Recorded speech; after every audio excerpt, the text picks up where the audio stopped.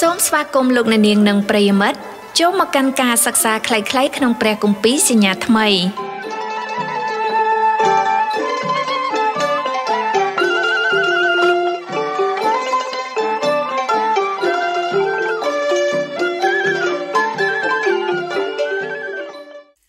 យើងកំពុងស្ថិតនៅក្នុងកាន់គម្ពីររ៉ូមលោកអ្នកប្រកាសជាជ្រាបហើយថា ការចំណាយពេលជាមួយព្រះបន្ទូលរបស់ព្រះដោយយកចិត្តទុកដាក់ ធ្វើឲ្យជីវិតរបស់យើងបានប្រកបដោយព្រះគុណព្រោះព្រះបន្ទូលរបស់ព្រះជាប្រជាស្ដាររបស់ព្រះតោះសូមចូលទៅក្នុងព្រះបន្ទូលរបស់ព្រះជាមួយខ្ញុំដោយយកចិត្តទុកដាក់ដូចតទៅមេរៀនទី6បទគម្ពីរយោងរ៉ូមជំពូក6លោកអ្នកឈរនៅក្នុងព្រះគុណសូមដកដង្ហើមវែងវែងហើយអរព្រះគុណព្រះសម្រាប់ព្រះគុណដ៏អស្ចារ្យរបស់ព្រះអង្គត្បិតលោកអ្នកបានទទួលការសង្គ្រោះឲ្យរួចពីអំពើបាប និងសេចក្តីស្លាប់ហើយឈរនៅក្នុងព្រះគុណរបស់ព្រះអង្គ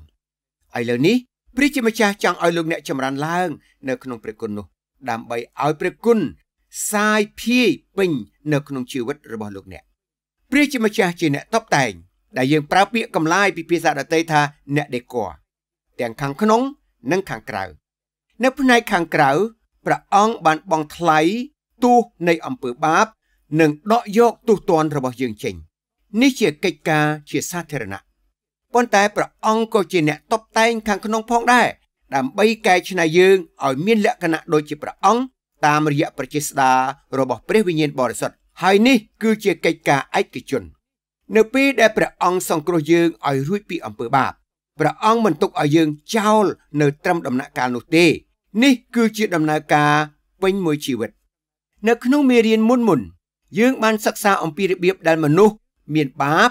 ទទួលបានការសង្គ្រោះឥឡូវនេះយើងសិក្សាបន្តទៀតដោយមើលពីរបៀបដែលព្រះជាម្ចាស់ធ្វើឲ្យយើង ដែលជាមនុស្សមានបាប ត្រឡប់ជាកូនរបស់ព្រះអង្គនិងរបៀបដែលយើងចម្រើនឡើង មានលក្ខណៈដូចព្រះអង្គនៅក្នុងនិស័យចាស់របស់យើង យើងជាទេសកលរបស់អំពើបាបប៉ុន្តែក្នុងនាមជាអ្នកជឿនិស័យថ្មីរបស់យើងចង់ស្ដាប់បង្គាប់តាមព្រះជាម្ចាស់សូមលោកអ្នកស្រមៃមើលថាតើវាអាម៉ាស់ដល់កម្រិតណា ដែលលឺពាក្យលោកប៉ុលសួរនៅក្នុងគម្ពីររ៉ូមជំពូក6ខ1ថាដូច្នេះតើយើងត្រូវនិយាយដូចម្ដេច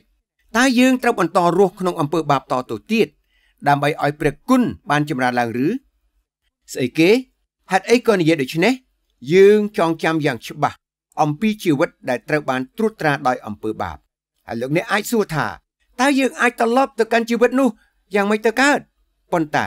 អំណាចនៃអំពើបាប វានៅតែខ្លាំងក្នុងជីវិតរបស់យើង យើងត្រូវការប្រជាស្ដាររបស់ព្រះ ដើម្បីរស់នៅឲ្យឃើញថាយើងពិតជាបានស្លាប់ខាងឯអំពើបាបមែនការរស់ដោយជំនឿមានន័យថាយើងរំលឹកខ្លួនយើងអំពីសេចក្តីពិតមួយចំនួនដូចខាងក្រោមចំណុចទី1យើងដឹងអំពីអ្វីមួយលោកអ្នកត្រូវតែដឹងថាការជំនុំជម្រះអំពើបាបរបស់យើង ត្រូវបានធ្វើរួចស្រេចហើយ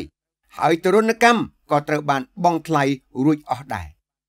បំណុលរបស់យើងត្រូវបានបង់ថ្លៃទាំងអស់នៅក្នុងការសគត់របស់ព្រះអង្គខ3ចំណុចទី2បន្ទាប់មកយើងរកឃើញអ្វីមួយ នៅពេលព្រះគ្រីស្ទបានសគត់លោកអ្នកក៏បានស្លាប់ដែរពេលព្រះអង្គត្រូវបានប្រោះឲ្យមានប្រជជនរស់ពីសគត់ឡើងវិញលោកអ្នកក៏ត្រូវបានប្រោះឲ្យរួចពីស្លាប់ឡើងវិញដែរលោកអ្នកលែងជាទាសករនៃអំពើបាបទៀតហើយខ4ដល់ខ8 ចំណុចទី3បន្ទាប់មករាប់យកជាការ គឺរាប់យកជាការដែលថាលោកអ្នកបានស្លាប់ខាងឯអំពើបាប ហើយមានជីវិតរស់នៅខាងឯព្រះអំពើបាប ដែលធ្លាប់តែបញ្ជាលោកអ្នក បានបាត់បង់ភាពម្ចាស់ការរបស់វាទៀតហើយមានកន្លែងតែពីរប៉ុណ្ណោះសម្រាប់អំពើបាបរបស់លោកអ្នកព្រះគ្រីស្ទបានបង់ថ្លៃសម្រាប់អំពើបាបទាំងនោះនៅពេលដែលព្រះអង្គបានសុគតសម្រាប់លោកអ្នកឬក៏លោកអ្នកនៅតែរែកពុនអំពើបាប របស់លោកអ្នករាល់ថ្ងៃហើយការជំនុំជម្រះត្រៀមទុកសម្រាប់លោកអ្នកនៅពេលខាងមុខលោកអ្នកមិនអាចចែករំលែកបន្ទុកនៃអំពើបាបរបស់លោកអ្នកបានឡើយប្រសិនបើលោកអ្នកនៅក្នុងព្រះគ្រីស្ទនោះទ្រង់បានចាត់ការជាមួយវារួចហើយលោកអ្នកអាចជឿជាក់លើការនេះបានខ11នៅទីបំផុតចូលថ្វាយខ្លួនរបស់លោកអ្នកដល់ព្រះជាម្ចាស់យើងធ្លាក់ចូលទៅក្នុងបញ្ហា នៅពេលដែលយើងស្ដាប់តាមជីវិតចាស់របស់យើង ជំនួសឲ្យការវិលត្រឡប់ទៅរកជីវិតចាស់ដែលព្រះយេស៊ូវបានយកឈ្នះរួចហើយសម្រាប់លោកអ្នកចូលថ្វាយខ្លួនដល់ព្រះ ទាំងទូលថាអោប្រម្ចាស់អើយទូលបង្គំនឹងធ្វើអ្វីគ្រប់យ៉ាង ដែលទ្រង់ចង់ឲ្យទូលបង្គំធ្វើនេះជាវិធីសាស្ត្ររបស់ព្រះ ដើម្បីបំផ្លាស់បំប្រែជីវិតលោកអ្នកលោកអ្នកបោះជំហាន ចូលទៅក្នុងដំណើរការនេះ ទាំងជឿថាព្រះជាម្ចាស់អាចធ្វើបានលោកអ្នកមិនអាចធ្វើការនោះបានឡើយហើយព្រះអង្គក៏មិនដែលមានបន្ទូលថា លោកអ្នកអាចធ្វើបាននោះដែរនៅពេលដែលលោកអ្នកទទួលស្គាល់ថាលោកអ្នកមិនអាចរស់នៅ ជាជីវិតគ្រីស្ទបរិស័ទបានដោយកម្លាំងខ្លួនឯងនោះគឺជាទីចាប់ផ្ដើមដ៏ល្អហើយលោកអ្នកមិនអាចរស់នៅសម្រាប់ព្រះដោយកម្លាំងខ្លួនឯងបានទេ ហើយក៏មិនអាចសង្គ្រោះខ្លួនឯងបានដែរចូលពឹងអាងដល់ព្រះ ដែលទ្រង់ជាខ្យល់ដង្ហើមរបស់លោកអ្នកចូលសម្លឹងមើលទៅព្រះម្ចាស់យេស៊ូវគ្រីស្ទដោយព្រះចេស្តារបស់ព្រះវិញ្ញាណព្រះអង្គចាំជួយលោកអ្នកជានិច្ច ប្រសិនបើលោកអ្នកទូលសូមព្រះអង្គ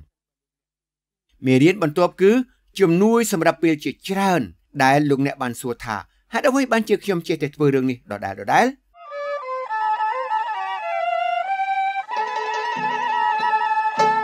សូមអរគុណលោកអ្នកនាងនិងប្រិមិត្តដែលបានតាមដានស្ដាប់នាទីសិក្សាខ្លីៗក្នុងព្រះគម្ពីរសញ្ញាថ្មីនៅថ្ងៃនេះលោកអ្នកក៏អាចបន្តតាមដានស្ដាប់និងសិក្សាលំអិតស៊ីជម្រៅថែមទៀតបាន ក្នុងកម្មវិធីសិក្សាតាមប្រព័ន្ធព្រះគម្ពីរពីថ្ងៃច័ន្ទដល់ថ្ងៃសុក្រវេលាម៉ោង8យប់តាមវិទ្យុគ្រួសារ FM 99.5និងវិទ្យុគ្រួសារ FM 99.8ក៏ដូចជាតាមបណ្ដាញសង្គម Facebook YouTube និងទាញយកសម្លេងនិងមេរៀនពីគេហទំព័រឬ Mobile App របស់វិទ្យុគ្រួសារបានផងដែរដែលលោកអ្នកគ្រាន់តែវាយជាអក្សរ www.familyfm.org សូមអរគុណសូមព្រះប្រទានពរ